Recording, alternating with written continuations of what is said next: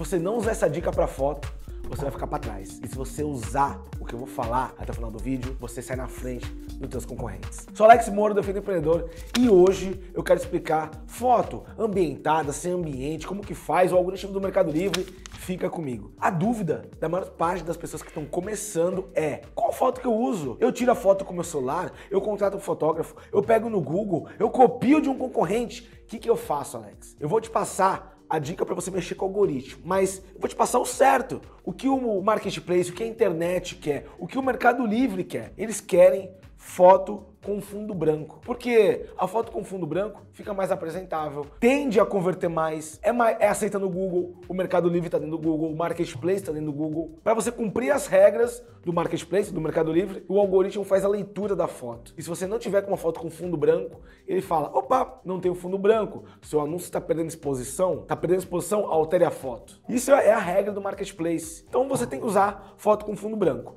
E aí, Alex, eu, eu tiro ou não? Deixa eu te contar uma história. Quando eu comecei a vender, eu desde o princípio eu usei a estratégia de velocidade. Feito é melhor que perfeito. Eu fazia com a, com a condição que eu tinha e depois eu melhorava. Melhoria constante. Pensando nisso, contando essa história, só para você entender o que você deve fazer. O primeiro passo para você estar tá começando, não tem um produto validado, não adianta, não adianta você empenhar esforço, investimento num anúncio, num produto, não saber se você vai emplacar ele, o que você tem que fazer?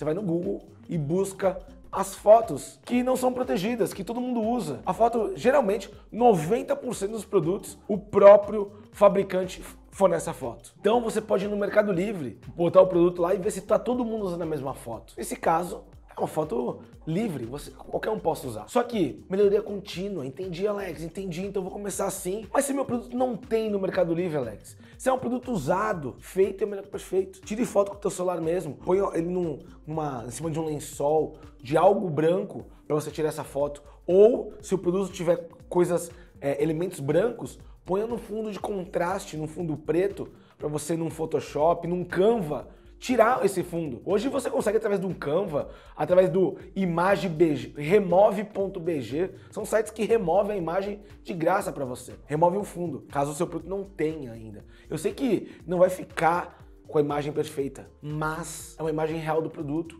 Para produto usado tem que ser assim, imagem real do produto. E o vídeo aqui eu mostrei como que a gente fez para tirar foto de produtos usados e cadastrar no Mercado Livre. A gente fez ao vivo, tá no vídeo aqui, beleza? Depois você confere lá. Então entenda uma coisa, é, não tem uma linha certa. Entende que usado você vai para uma linha, é, produto novo tem que ter fundo branco. Mas e agora? Qual é a sacada da parada? Antes de eu te dar a sacada, se você gostou do que você viu até aqui, já enfia o dedo no like, que aí você mostra pro YouTube que o vídeo é bom. Apertou? Do lado se inscreve e ativa o sininho, porque assim eu te aviso todo dia quando subir vídeo novo. Fez isso? Então vamos lá, vamos para a sacada do vídeo. O marketplace tem muitas pessoas já vendendo o teu produto. Uma foto ambientada. Meu Deus, Alex, o que é foto ambientada? É você colocar ambiente numa foto. Mas Alex, eu vendo caneta. Legal. Se você tirar uma foto segurando a caneta, você mostra o tamanho da foto, mostra que ela, a caneta tem o, o tamanho do palmo, a pessoa consegue comparar. Todo produto, ele deve ser ambientado. Um vestido, uma calça. Você tem ideia, é, eu tenho uma aluna, ela faz o padrão FIFA. O que é padrão FIFA? Tem aqui o vídeo também do padrão FIFA, beleza? Depois você vai lá e vê. Conteúdo importante para tudo. São tudo, todas, tudo isso é estratégias para você se cercar de boas atividades para o algoritmo te responder com venda. Eu tenho uma aluna que o, o anúncio que ela mais vende é um anúncio que o Mercado Livre está falando o seguinte: esse anúncio está perdendo exposição. Está perdendo exposição. Porque a foto principal dela, ela colocou uma foto ambientada. Naquele, naquele anúncio, naquele produto, deu certo. Ela criou uma foto ambientada, ela vende calça jeans, ela ambientou com o modelo numa, num jardim e tudo mais, criou, é, elevou. Então, quando o cara pesquisa calça jeans lá no Mercado Livre, ele bate o olho, vê tudo com fundo branco, ele vê uma foto ambientada, vira contraste. E a pessoa vai lá e clica.